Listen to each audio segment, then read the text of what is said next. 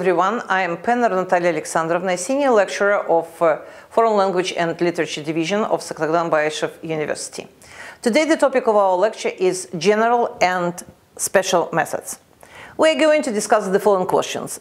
General remarks, the grammar translation method, the direct method, Henry Palmer's method, and Michael West's method.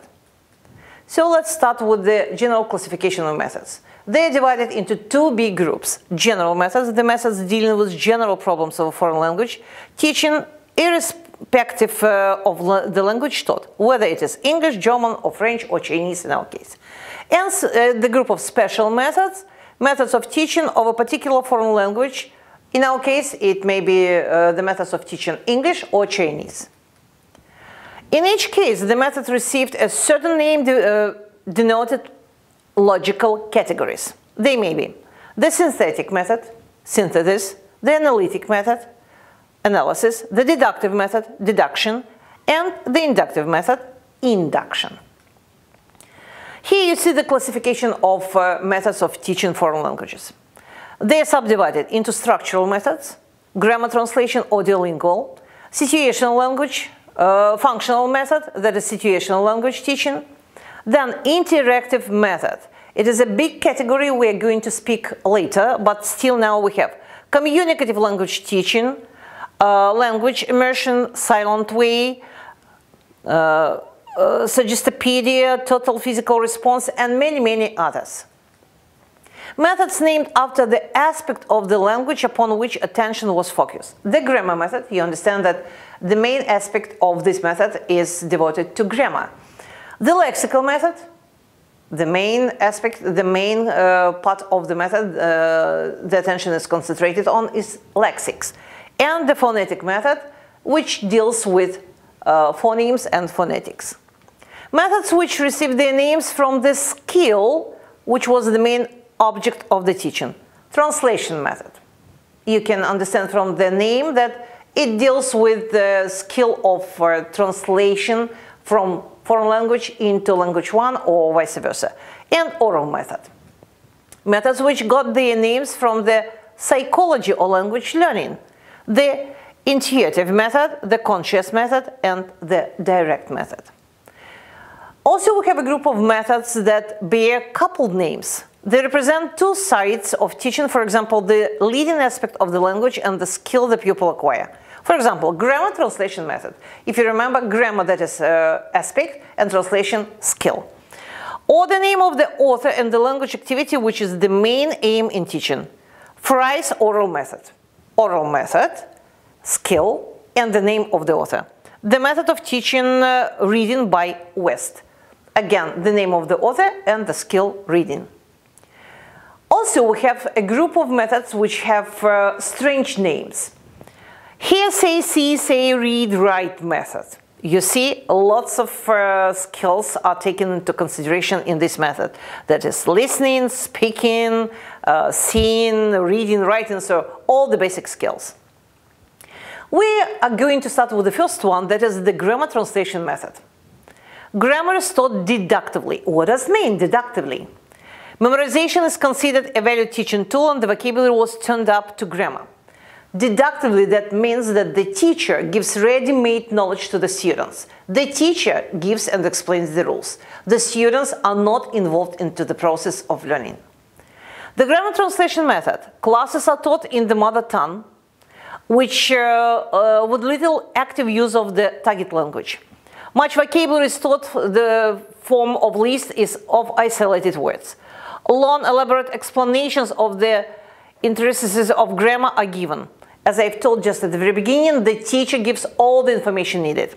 Grammar provides the rules for putting words together and the instructions often focuses on the form and inflection of words.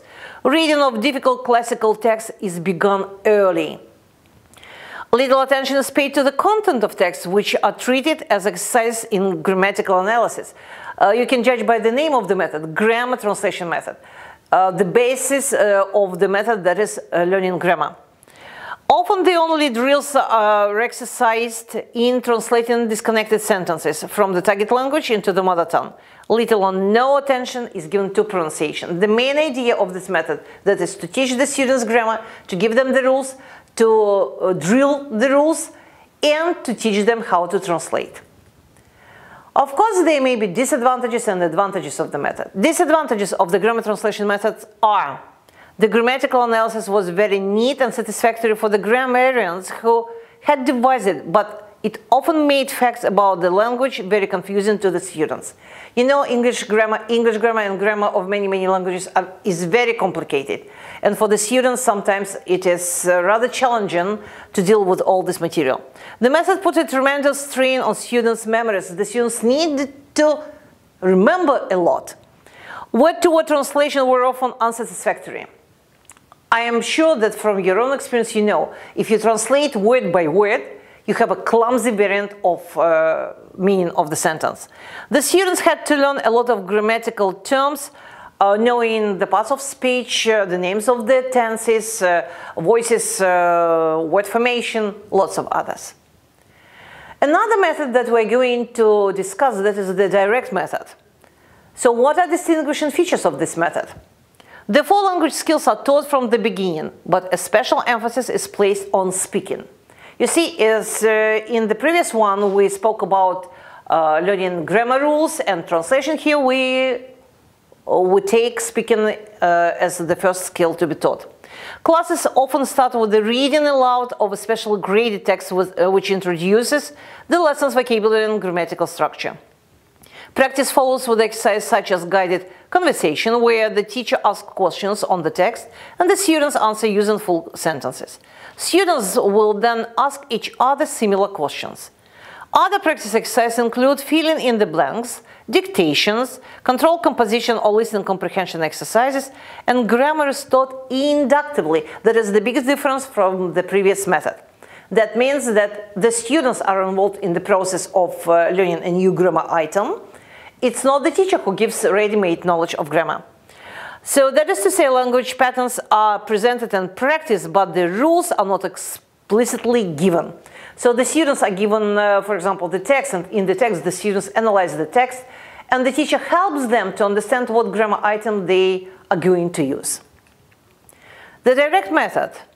What are characteristics uh, of this method? Lesson begin with a kind of joke or a dialogue in the target language that is foreign language and in the modern conversational style. Uh, this activity helps the students to, uh, to feel the uh, foreign language atmosphere. The material is first presented orally with actions or pictures. Uh, the preferred type of exercise is a series of questions in the target language based on the anecdote or dialogue and answered in the target language. Grammar is taught inductively.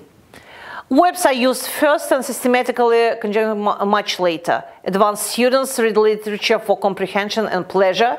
Literary texts are not analyzed grammatically and the culture association with the target language is also taught inductively.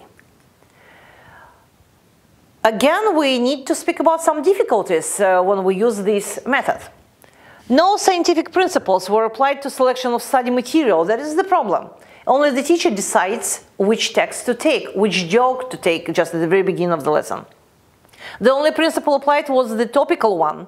So that means that the teacher followed only the topic of the lesson, but not uh, that psychological aspect, uh, the age of the students, uh, their level of uh, uh, foreign language proficiency or something like this.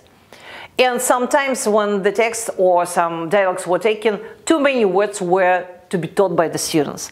School conditions did not favor the development of pupils' speech habits. Too few periods a week, overcrowded classes, lack of visual materials, and etc. In the hands of an unexperienced and ill-equipped teacher, the direct method did not work. So you had to have some experience uh, and knowledge of pedagogy, psychology, lexicology to be able to follow this method.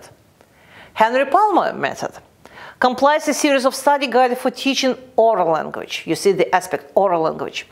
English through actions. 100 substitutional tables in which typical English sentences are arranged in tables for pupils to make up their own sentences. These tables allow students to uh, form uh, lots of, plenty of sentences. Systematic exercise in English pronunciation. In this book, a graded system of exercises is presented. Standard English Reader contains easy material which gradually becomes more complicated and interesting to read. The material is based on selected vocabulary. English through questions and answers is attached to these readers. We see that this approach was a little bit more sufficient, but still uh, it had some drawbacks. So West uh, approach and method. Uh, as for West, he, uh, he believed that the best way to start learning a foreign language that is to start to teach the students to read. His arguments. In a country where the child must be bilingual and he is brought into easy uh, contact with the world culture, it is necessary to begin by teaching to read. He believed that reading is the easiest aspect of the language to acquire, for reading involves no active use of gram grammar or idioms and the memory of the vocabulary is merely recognition.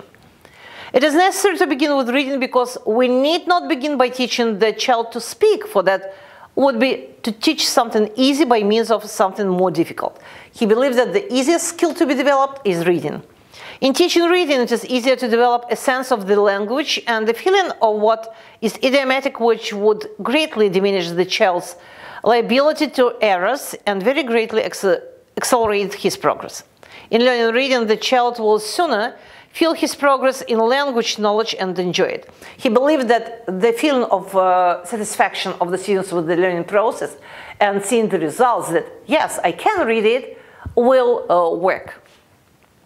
So we can say about the combination of two ideas, that is uh, Henry Palmer and Michael West, uh, both of them raised the problem of careful selection of language material, worked out criteria of selection and selected the material, uh, raised the problem of the necessary for rationalizing teaching materials and worked out system of foreign language teaching.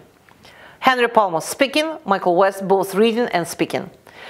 Compiled series of guidebooks and introduced a lot of new and effective exercises. Henry Palmer for the development of speaking skills, Michael West for the development of reading skills and comprehension of foreign text, as well as for the development of speaking.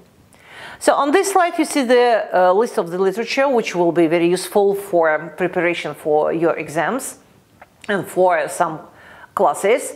And I am sure that the material that we discussed today, the topics that we discussed today will be very beneficial and very useful for you in your future pedagogical practice.